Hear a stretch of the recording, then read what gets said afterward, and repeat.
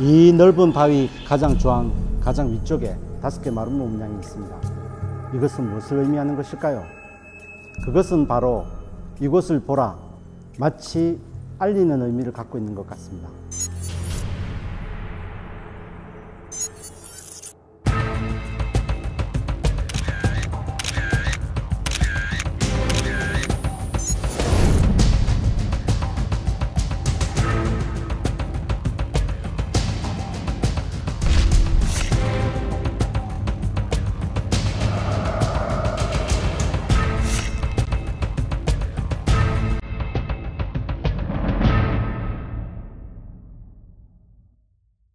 그 시대적 양식에 매우 충실하게 그려진 그림입니다.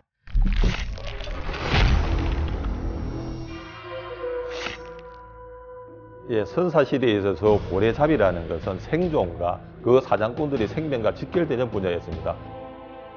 여러 척들이 합심을 해서 고래를 몰아서 상으로 잡는 방법과 고래 사냥의 전 과정을 이 한 그림에서 모두 다 잘 나타내고 있습니다.